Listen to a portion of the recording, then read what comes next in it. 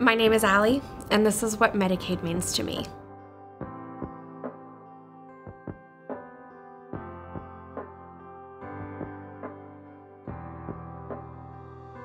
My daughter had a congenital heart defect.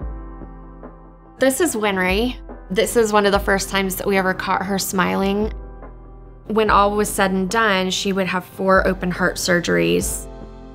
She passed away from complications due to her surgeries. She was 12 weeks old, and I can't imagine grieving her um, while also paying medical bills.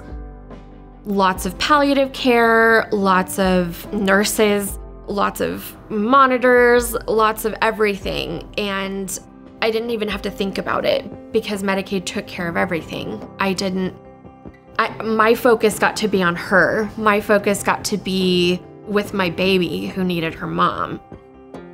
She got a bead for every time that she had a poke, every time that she had a cut, every day that she stayed in the hospital. It's a lot to happen to a, to a little girl.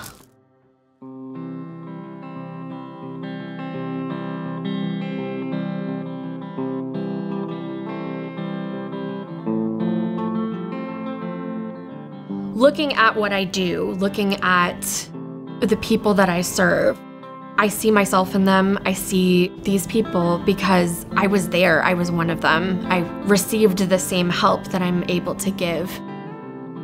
I also like to think that when Wynrie was getting her care, that there was someone reading her charts that rejoiced with me when she had milestones or cried with me when she died or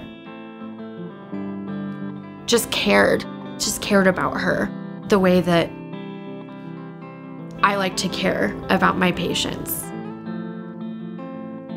So I, I do. She's she's very much in the forefront of, of everything that I do.